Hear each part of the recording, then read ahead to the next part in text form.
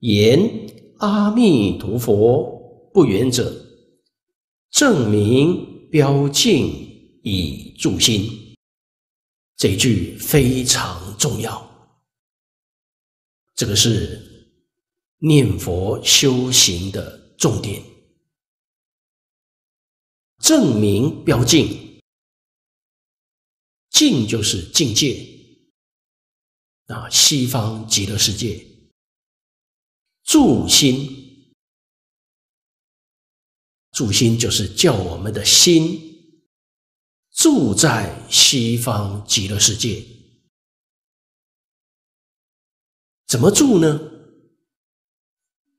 实在讲，就是永明大师所讲的有净土啊，你心里。真有了，心有了，就是常常放在心里，不会把它忘记掉，啊，不会把它失掉，一直不忘，啊，这是你心里真有了，啊，你心里真有净土。啊，你就决定得生净土啊，这个非常重要啊。有许多人天天念佛，心里没有净土，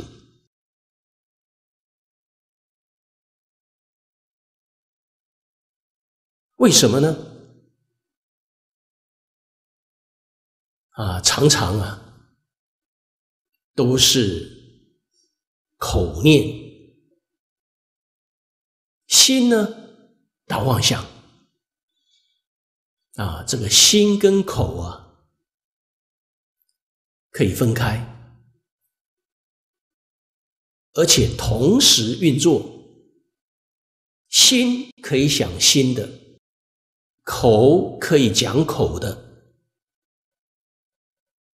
可以分开。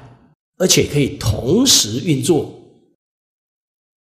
所以这个就很麻烦了啊！所以我们念佛，不知道方法，甚至在心里默念，没有念出声音啊，没有在嘴巴上念，心里默念。心里默念呢，只是把声音放在心里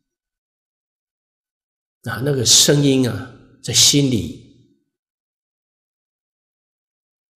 一直念着，这样算不算心念呢？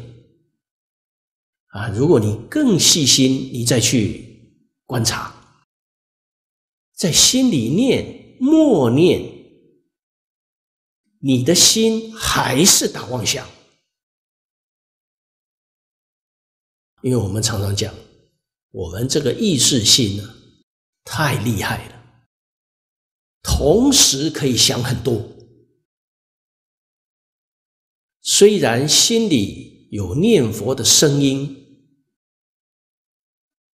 啊，或是有念佛的音调。啊，有人念佛有音调，有人念佛没有音调，啊，光念六个字或四个字，啊，有音调呢，那就是几字几音，啊，四字四音，啊，或者是四字五音，在心里，嘴巴没有念出来，这样还是可以打妄想。啊，你看我们这个心多厉害！同时，这个心呢，可以想很多，可以有很多作用。那么我们平常呢，平常心呢，完全在打妄想，或者是完全在想别的东西，想工作、想家庭、想孩子、想这个想那个，通通在想。想很多，但是呢，就是没有想西方极乐世界，就是没有想阿弥陀佛，就是没有想西方极乐世界的一正庄严。这就是叫做念佛没有功夫，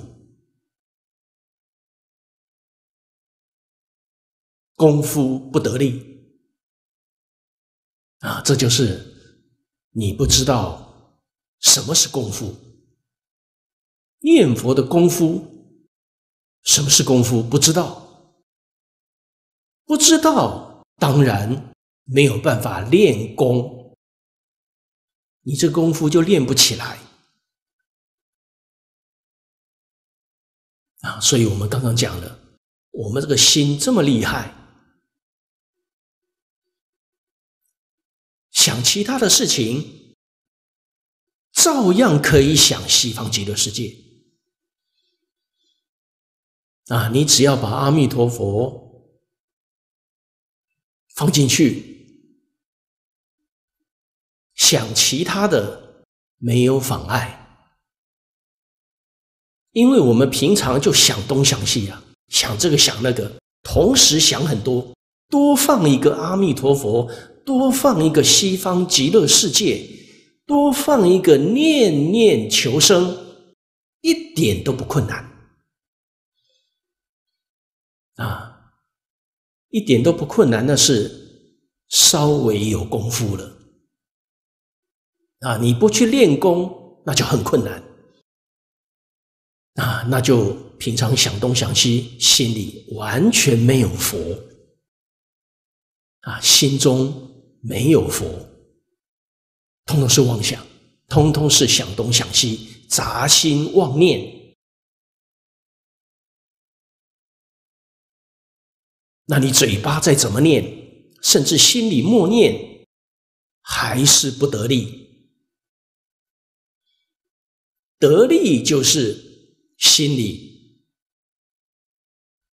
想家庭、想孩子等等，想什么？但是心中依然有西方极乐世界，心中依然念念求生。所以这个就是要去练了，要用功的地方就在这里。否则念佛用什么功呢？嘴巴念六个字、四个字，这不要用什么功啊？这三岁小孩都会啊！这不要什么功夫？